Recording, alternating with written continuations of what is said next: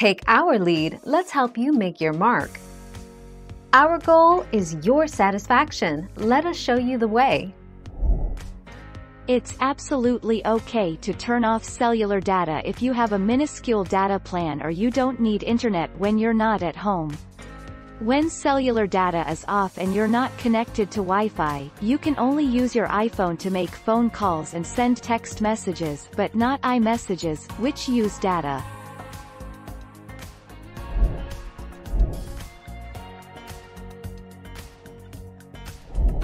Make your mark, take our lead. Restrict background data usage by app Android 7.0 and lower. Open your phone's settings app.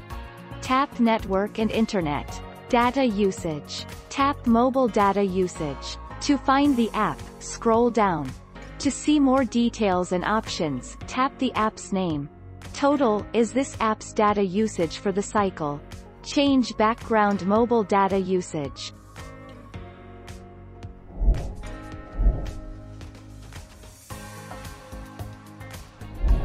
Let's help you make your mark. On iPhone, tap the Settings icon, tap Cellular, then turn off cellular data. On Android, tap the Settings icon, tap Network and Internet, tap Mobile Network, and turn off mobile data. After turning off mobile data, you'll still be able to make and receive phone calls and get text messages. Thank you for watching. Please subscribe and hit the bell notification.